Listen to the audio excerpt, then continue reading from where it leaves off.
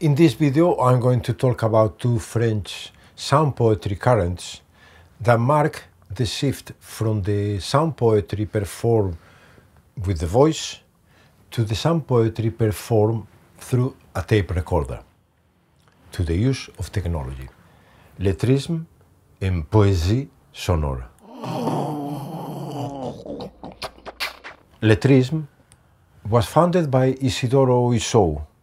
He wrote a manifesto in 1942 when he was still living in Romania, and he arrived in Paris in 1946.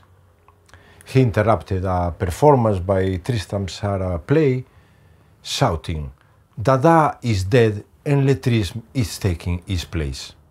Very soon other poets will join, like Gabriel Pomerand, Maurice Lemaitre, Gilles Wolman, and François Dufresne. Lettrisme, in common with Futurism, transcended poetics. They wrote about theatre, cinema, painting, even philosophy and economics.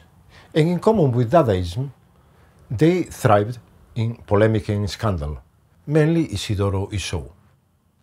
They use letters as sounds, but also letters as image.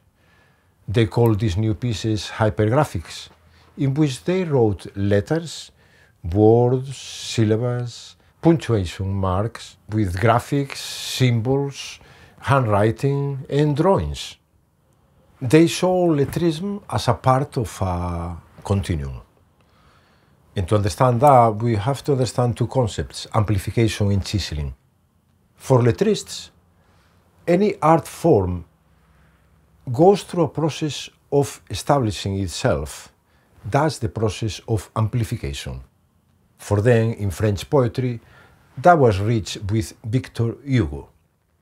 After that starts the new process called chiseling. And that's a process of self-destruction and reducing. That process was undertaken by Baudelaire, Rimbaud, Verlaine, Mallarmé, and reached the final stage with lettrism. The process of reducing involves passing from the poem to the sentence to the word to the syllable to end in the letter. Lettrism, in this sense, is the final stage in the evolution of poetry.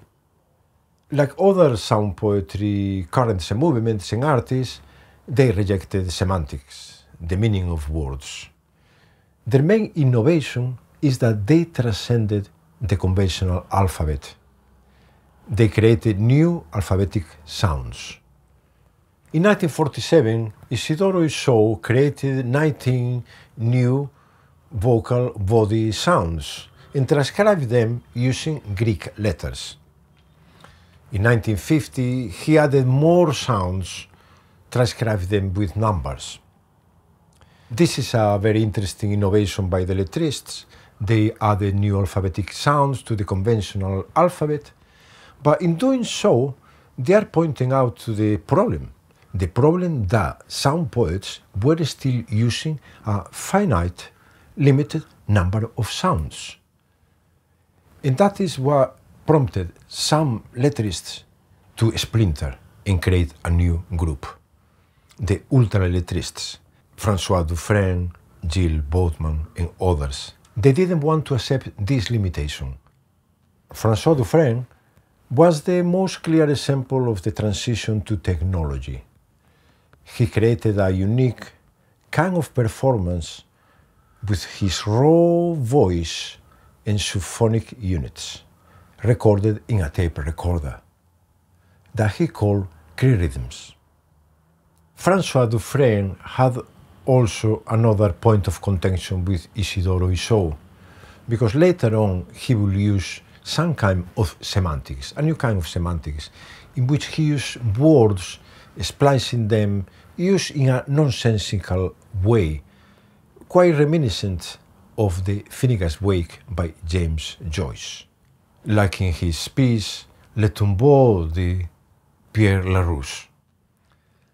François Dufresne also opened the door to the use of technology in poésie sonore, a term coined by Henri Chopin, the main lead artist in this movement. A poetry that used the full potential of technology in a creative way.